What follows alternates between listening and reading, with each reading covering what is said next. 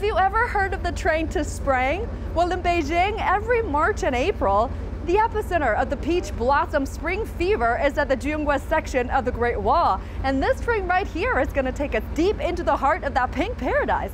Sounds like a dream ride. Let's give it a go.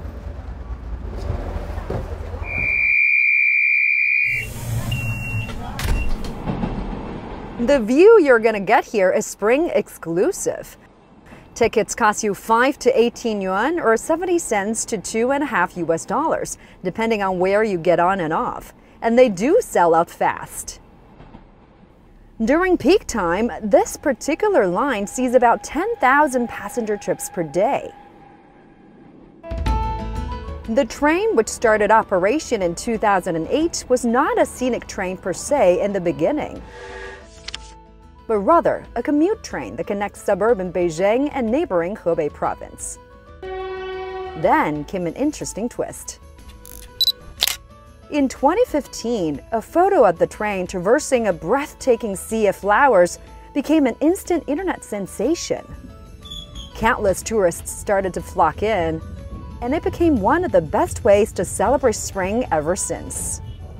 What a spectacular view. It's drizzling a bit this morning, but it's even better. It's giving you that poetic vibe. It's almost like you're looking at this ancient Chinese landscape painting unfolding right in front of your eyes. You've got the entire mountain covered by greens and super blooms, and you've got the Great Wall in the backdrop, and the best part of it, you get to admire all that from the comfort of a moving train.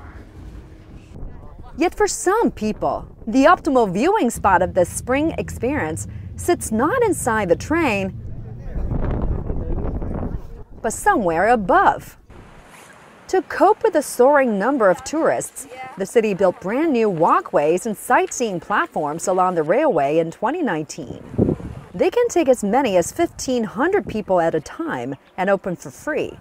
This year, they open from 8 a.m. to 5 p.m. every day from March 23rd to April 21st. Taking a stroll here makes you feel like you're hugging the spring. Even the air smells sweeter. Plenty of people have come here for their spring adventure, taking in the fresh air and basking in the peach blossom galore. It's a stunning sight to see, but do expect thick crowds. Beyond Beijing, many cities across China are seeing a visible boom in the spring economy from flower viewing tours, camping equipment sales, travel outfits purchasing, to seasonal food consumption, including bamboo shoots and cherry blossom flavored snacks. Many tourism platforms have seen a huge surge in searches and bookings for blossom viewing tours and related activities. Some agencies are rolling out promotion packages specifically capitalizing on the spring splendor. The next stop is Badaling Railway Station. Spring is a time for growth, renewal, and the awakening of nature's beauty. What's better? For cities like Beijing, the spring romance is proving to be a strong point in the consumption and tourism sector, unlocking fresh possibilities for the country's economic vitality. This train has taken us to the Great Wall, but beyond that, it's taken us to spring and the infinite possibilities that come with it. Li Qiuyuan, CGTN, Beijing.